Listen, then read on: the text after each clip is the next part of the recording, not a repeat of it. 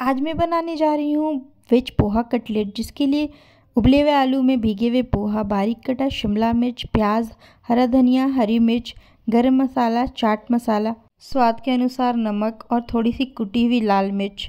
अब सबको अच्छे से मिक्स कर लेंगे। अच्छे से मिक्स करने के बाद हमारा मिक्सचर रेडी हो चुका है। अब क्या करेंगे कि हाथों की मदद से छोटे छोटे बॉल्स ले लेंगे और उसे कटलेट का शेप दे देंगे।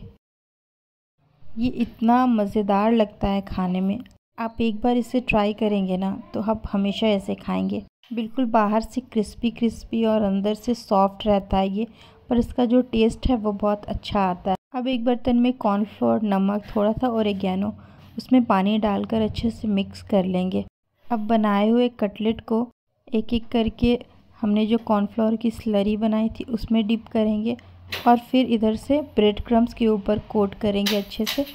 ब्रेड क्रम्स चारों तरफ़ से लग चुके हैं और सारे कटलेट इस तरह से रेडी हो गए हैं।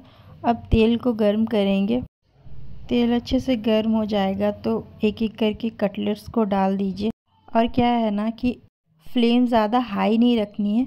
मीडियम फ्लेम पे आप अगर इसे फ्राई करेंगे तो अंदर तक अच्छे से ये क्रिस्पी फ्राई होगा। और अगर तेज़ करेंगे तो बस ऊपर ऊपर से पक जाएगा, अंदर से नहीं पकेगा। देखिए कितना अच्छा गोल्डन ब्राउन कलर का ये हो चुका है।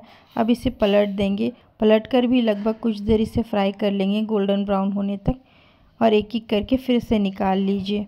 बारिश के मौसम में शाम के नाश्ते के लिए ये बेस्ट ऑप्शन है। तो आप भी ज़रूर ट्राई कीजिए। वेज पोहा कटलेट बहुत मज़ेदार बनते हैं थैंक्स फॉर वॉचिंग